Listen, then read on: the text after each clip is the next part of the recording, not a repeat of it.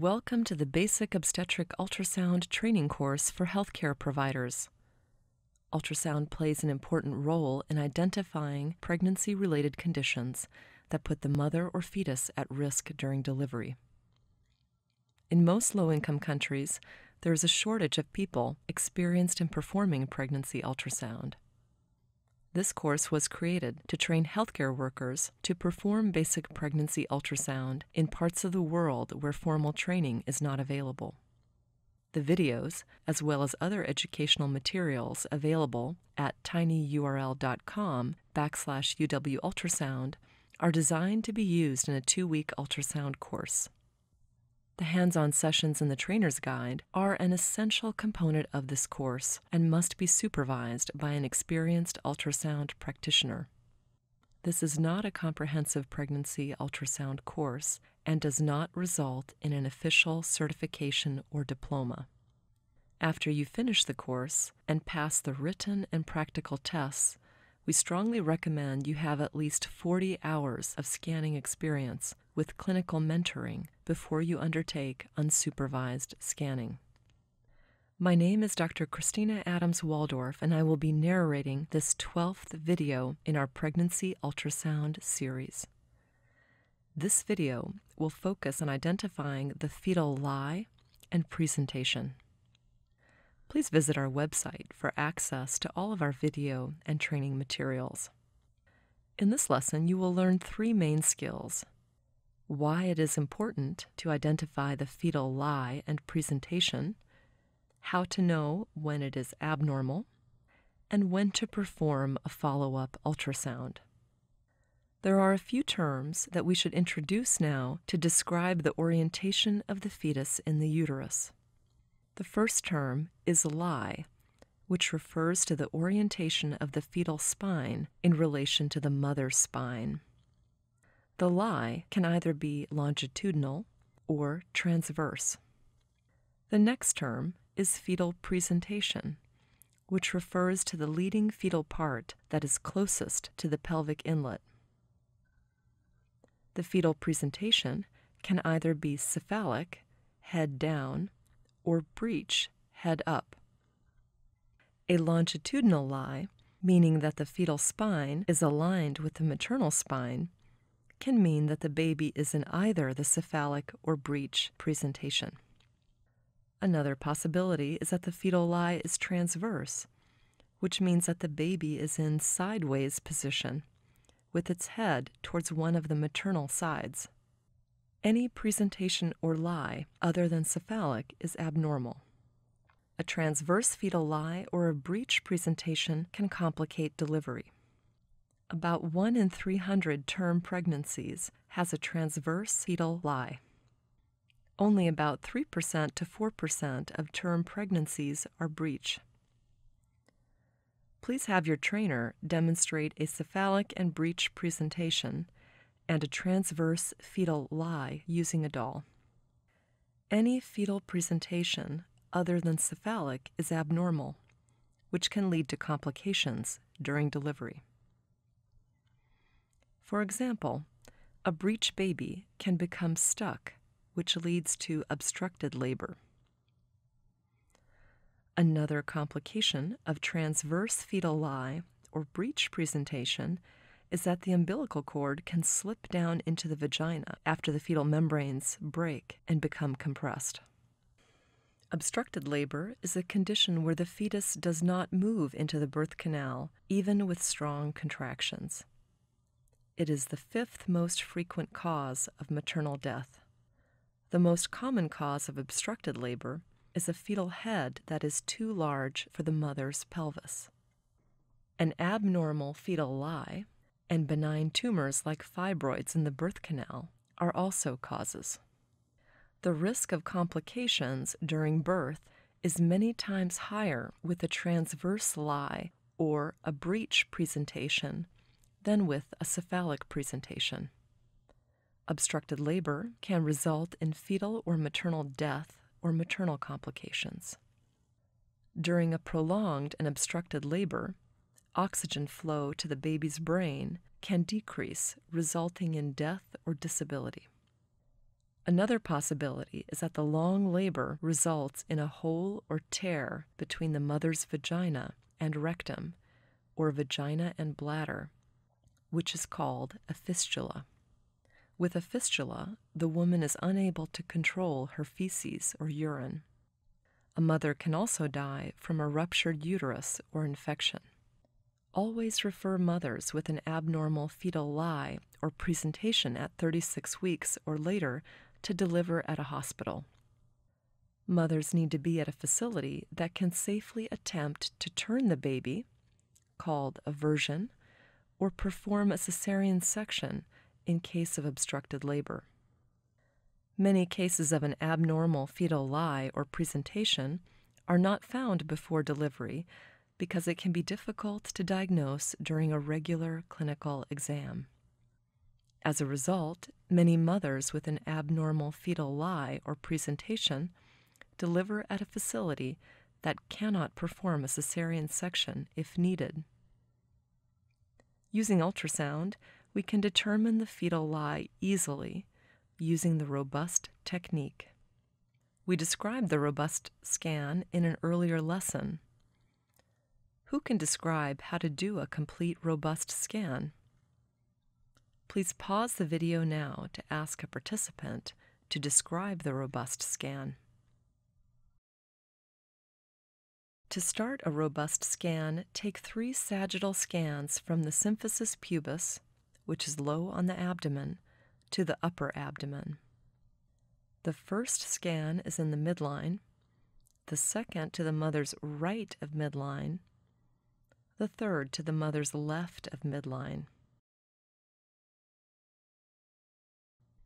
Next, take three transverse scans, scanning from the maternal right to the left. The first is just above the symphysis in the lower abdomen. The second in the mid abdomen or mid uterus, and the third across the upper portion of the uterus. This will be in the upper abdomen in the third trimester of pregnancy.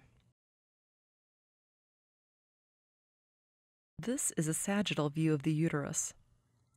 What is the fetal lie and presentation and why? Please pause the video now to encourage responses. This is a cephalic presentation and longitudinal lie because the mother's feet are to the right of the image and her head is to the left, so the fetal head is closest to the cervix. What is the fetal lie and presentation in this image and why? Please pause the video now to encourage responses. The answer is that the fetus is in the breech presentation and has a longitudinal lie. The fetal buttocks are closest to the cervix, which is to the right of the image, and the fetal head is toward the mother's head, which is to the left of the image. This slide emphasizes the orientation of the fetus in relation to the mother during the scan. A breech fetus has its head toward the mother's head and buttocks toward the cervix on a sagittal scan. There are three types of breech presentation. The frank breech is the most common type. A frank breech has the hips flexed and knees extended, sometimes called the pike position. Notice that in a frank breech, the fetal buttocks are closest to the cervix. The next most common type of breech is the incomplete or footling breech, which has one or both hips extended and a foot closest to the cervix. The complete breech is the least common. In the complete breech, the hips and knees are flexed, sometimes called the cannonball position. The incomplete breech imparts the highest risk during labor, followed by complete breech, then frank breech. In addition to obstructed labor, there is also a risk of cord prolapse with a breech presentation. This occurs after the membranes rupture and the umbilical cord falls down into the vagina and becomes compressed or squeezed between the walls of the vagina. It is more important to identify a breech presentation than the specific type of breech. Sometimes a type of breech can be seen, but it is often difficult. These images show an incomplete and frank breech. Please notice the foot nearest the cervix in the left image, which is characteristic of an incomplete or footling breech. In the right image, the buttocks are nearest the cervix, and you can see one leg extended up in the anterior part of the image. This is a frank breech. This is a sagittal view of the uterus. What is the fetal lie? In this image, we see a transverse or cross section of the fetal abdomen. We can identify the stomach and umbilical vein. Since this is a sagittal view of the uterus, the fetus must have a transverse lie. This illustration shows how a sagittal slice through the fetal chest and abdomen looks when the fetus has a transverse lie. What is the fetal lie in presentation in this case? Note that this image is in the transverse plane. Please pause the video now to encourage responses from the group. Here we can see the fetal stomach and fetal spine. This illustration shows that the fetus has a longitudinal lie and cephalic presentation with the fetal spine on the maternal right. Please ask your trainer to demonstrate this fetal lie with a doll prop. Then compare the structures in the drawings with the structures on ultrasound. It is not uncommon for the fetus to change its lie and presentation up to four to five weeks before delivery. After 36 weeks, the fetal lie and presentation rarely changes. This is one of the many reasons why accurate fetal dating is so important in order to mark these weeks correctly. If you identified an abnormal fetal lie or presentation earlier in the pregnancy, repeat the ultrasound at 32 to 36 weeks. If an abnormal lie or presentation persists, refer to the hospital for delivery or an attempt to turn the baby. If the fetal presentation is cephalic and the pregnancy is normal, deliver at your health center. Let's review these concepts. A patient comes to your health center before 32 weeks.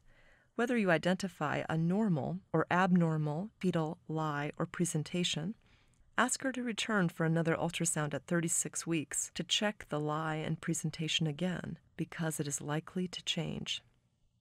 If a patient comes to your health center at 36 weeks or later and the fetal presentation is cephalic and the pregnancy is normal, encourage delivery at your health center. If you identify an abnormal fetal lie or presentation, send her to the referral hospital. The obstetrician will decide if the baby can be turned and how to best deliver the baby. Here are the key points. An abnormal fetal lie or presentation is anything other than cephalic and is associated with increased risk for the mother and fetus. If an abnormal fetal lie or presentation is identified before 36 weeks, repeat the ultrasound at 36 weeks at your health center. If the fetal lie or presentation is abnormal at 36 weeks or later, encourage delivery at the referral hospital. Here are questions for review. Which fetal lie or presentation is considered abnormal? The answer is anything other than cephalic. What can cause obstructed labor? The answer is an abnormal fetal lie or presentation, a fetal head that is too large, or a fibroid in the birth canal. Which problems can result from obstructed labor? The answer is fetal death, maternal death, and other maternal complications like fistula, which is an abnormal connection between the vagina and bladder or rectum. Which ultrasound technique is useful in determining fetal lie or presentation? The answer is the robust scan. What are the different types of breech presentation? The answer is complete, incomplete or footling, and frank breech. At what gestational age will the fetus no longer change lie? The answer is that the fetus can change lie or presentation at any time, but it is unusual after 36 weeks. Thank you for your attention and interest in learning pregnancy ultrasound. Please pause this video now to ask your instructor any questions about this course. We thank the following individuals who played a major role in course development Dr. Robert Nathan, Dr. William Marks, and Nicole Goldsmith, registered sonographer. Many other individuals contributed valuable time and expertise in the instructional design and materials development, including Dr. Kristina Adams Waldorf, Dr. Scott Barnhart, Dr. Michael Kawuya, Susan Kingston, and Stacy Lissett. Finally, we wish to thank Dr. William Marks for the use of images from his book, Ultrasound A Practical Approach, and Jennifer Summers and Jan Hamanishi for graphic design and illustrations the University of Washington Department of Radiology has trained healthcare workers in pregnancy ultrasound in many parts of the world. If you have questions about this video or course, please contact Dr. Robert Nathan, Dr. William Marks, or Dr. Kristina Adams Waldorf. This course was collaboratively developed by the University of Washington Department of Radiology, Obstetrics and Gynecology, and the International Training and Education Center for Health, I-TECH. It was made possible through a grant from the GE Foundation. Consano also contributed funding. We are grateful for the video production sponsored by the University of Washington Institute for Simulation and Interprofessional Studies. Please visit our website at tinyurl.com backslash UW ultrasound to access all of our training materials. This material is copyrighted. You are permitted to copy, distribute, and post to websites. You are permitted to modify the content to adapt to specific populations and user needs on the condition that you include attribution to the University of Washington and retain any copyright notices and citations and attributions included in the original Basic Obstetric Ultrasound Training for Midwives. The material in this video is provided for information purposes only. The University of Washington Institute for Simulation and Interprofessional Studies does not take responsibility for the accuracy of the content in this video.